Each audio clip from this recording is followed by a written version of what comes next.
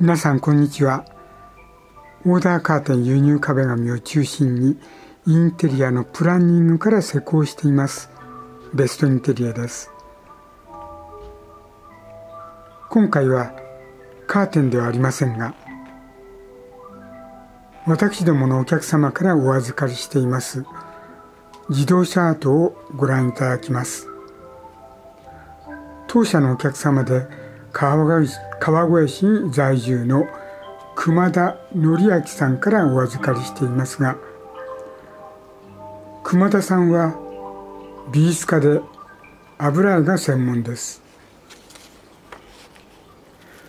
子供の頃から車が好きで20年前よりデザインの素晴らしいアンティークカーのモデルを作られています。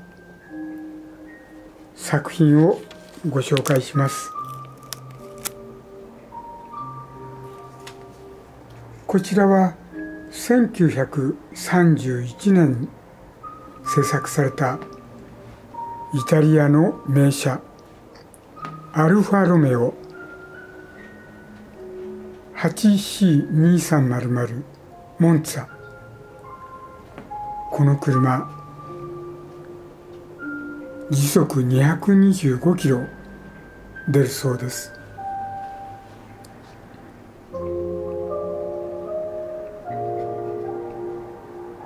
大変素晴らしいモデルです。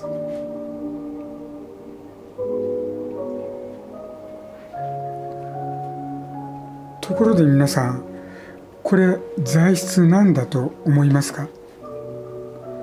これ全部が部品一つ一つ粘土で作り上げています。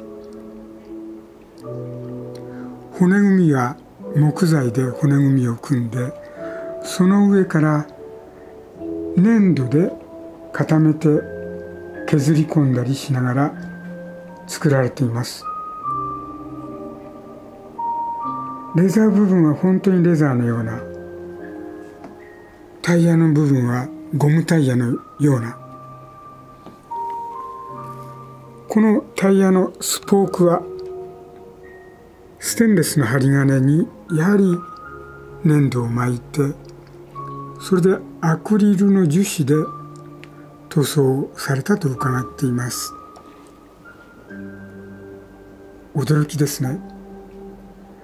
そしてこちらは1936年のモデルメルセデス・ベンツ540スペシャルロードスター。どっかで見覚えがありませんか？映画「サウンド・オブ・ミュージック」に登場しています。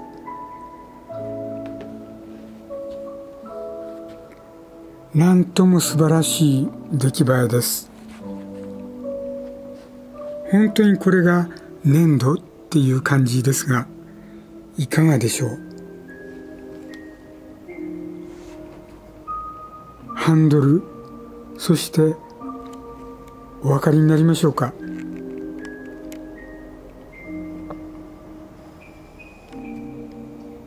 ペダルそういったところ細かく一つ一つ作り上げて組まれたものです。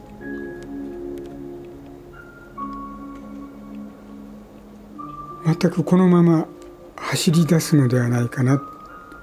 そんな感じがします。どうぞ熊田さんのホームページも書き込んでおきますのでぜひいろんな作品がありますご覧いただけたらと思います